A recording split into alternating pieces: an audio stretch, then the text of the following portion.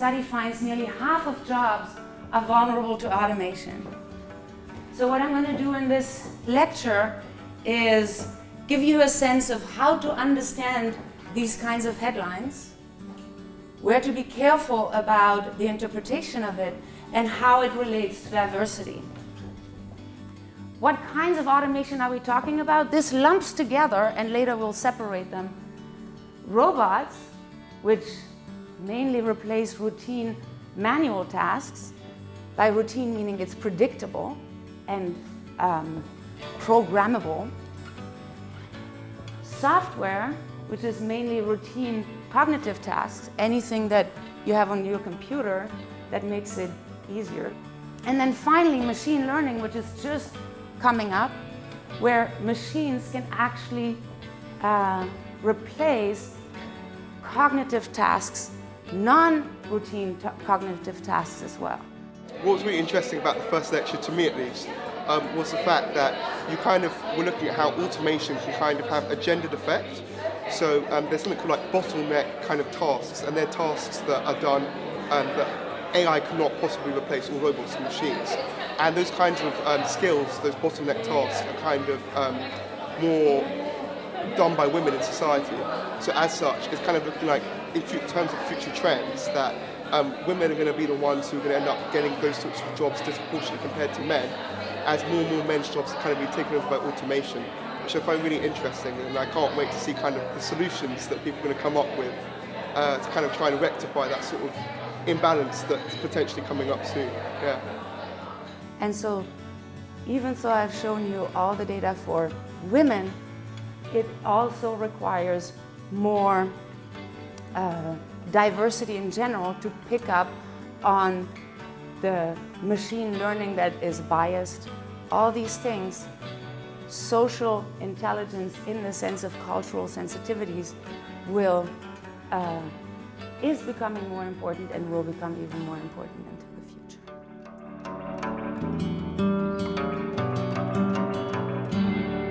I work at Malala Fund and we work on girls' education. And we work with, in our program countries, we work with the local activists on three major issues, which is financing for education, quality for education, and tackling the social norms against the girls' education. I think this um, this particular event has been really cutting across all these three uh, three broader areas that we work with, and I think this is the learnings that I gained today. I can really take back to my work.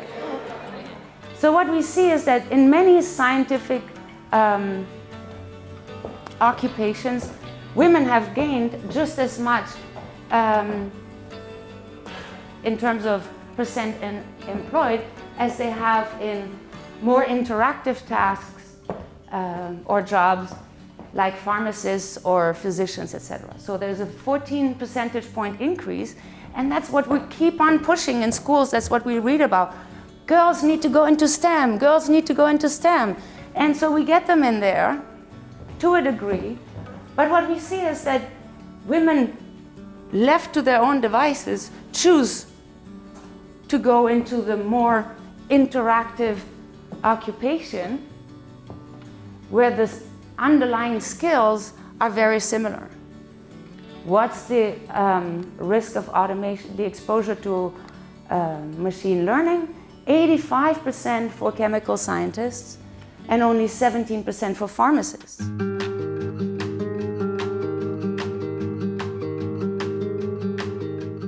Renee this afternoon um, had some really interesting data which backed up some of, um, some of the suppositions I've made through my life in trying to get more women into leadership and more diversity in businesses.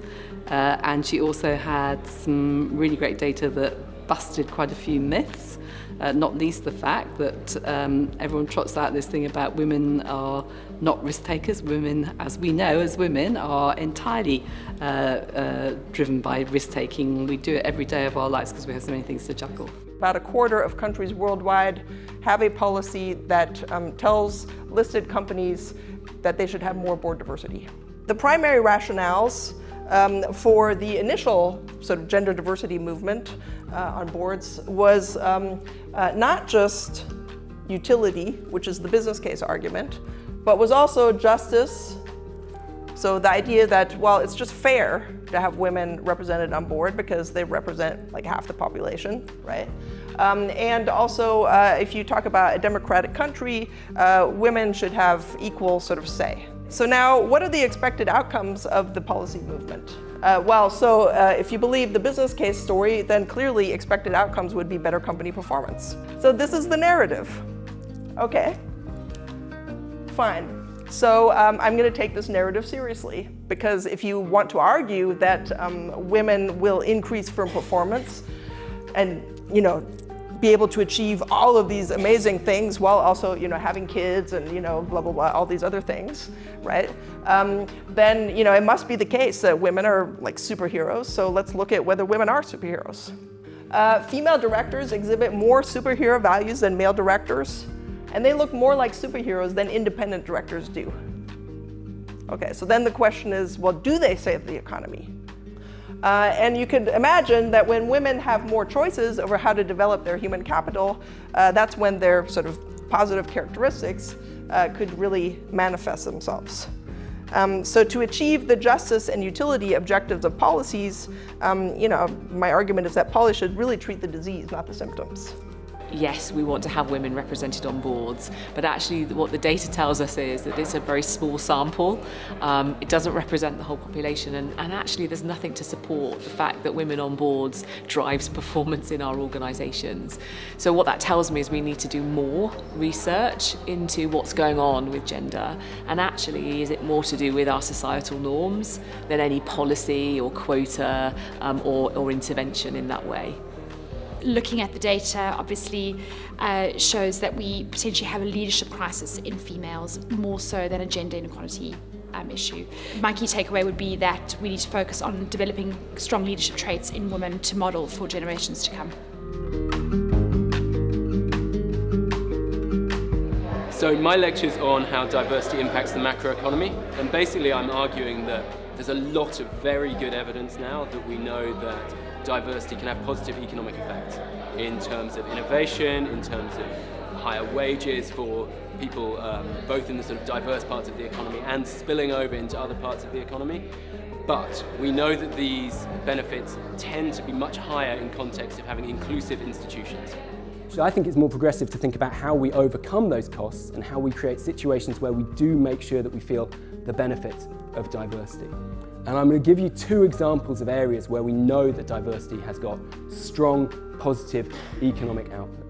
Diversity in innovation, diversity serves as a sort of production complementarity, is the way that it's called in these innovation studies. And when I talk about diversity here, I don't just mean ethnic or cultural or diversity from country of birth or any of that stuff. I mean diversity in terms of gender and also diversity in terms of age, because we have some excellent studies on this. Because it brings a larger set of ideas and perspectives external linkages, complementarities between different sort of knowledge bases. The diversity in scientific teams allows cross-fertilization, spillovers, the search for sort of novel combinations, drawing in knowledge from external sources, and of course, absorbative capacity. I'm going to give you a but. And the but is, I think, also comes from this evidence base on cities and regions, which is that I think actually, you know, Kuwait's rich, it's very diverse, there's something which is going on in places like Kuwait which is not allowing them to sort of benefit from this diversity. And so my argument here is that there is something around institutions which is missing. And by institutions, I don't mean like the BBC or University of Oxford, I mean these sort of informal institutions which really matter to shape the economy. But the question is, how do you build those inclusive institutions? And I'll be honest, the, the thing here is that you know, I don't have a clear answer, but we do know that they are important. We do know that they are hugely important.